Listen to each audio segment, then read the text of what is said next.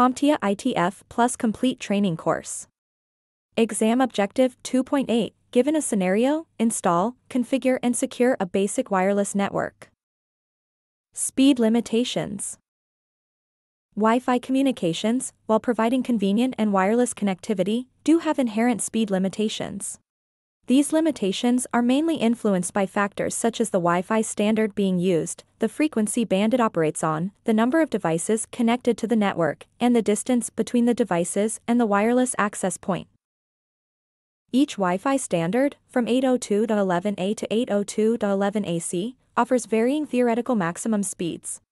So let's take a look at those threshold throughput speeds now.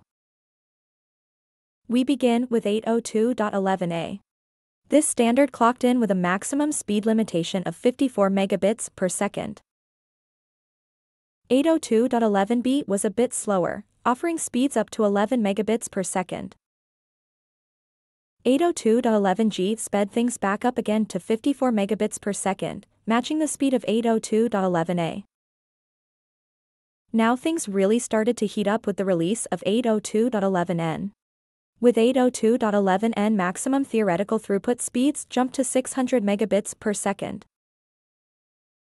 And then 802.11ac just came in and blew the rest of the standards out of the water, with a theoretical maximum speed of 6.9 gigabits per second.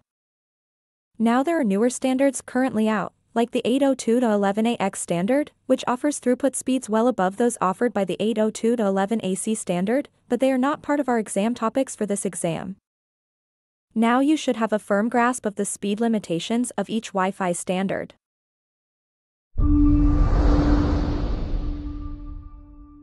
Thank you for watching. Subscribe for more great content.